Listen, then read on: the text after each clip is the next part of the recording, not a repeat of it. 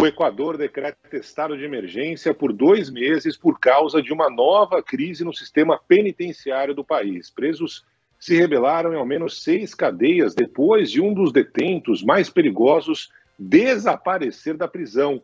José Aldo Macias é líder do grupo criminoso Los Choneros. Cumpria a pena de 34 anos de cadeia. O estado de emergência permite que as Forças Armadas operem, é, entrem nas cadeias também determina um toque de recolher nas ruas entre 11 horas da noite e 5 horas da manhã. Os confrontos das prisões superlotadas são frequentes no Equador, já deixaram mais de 400 mortos desde 2021.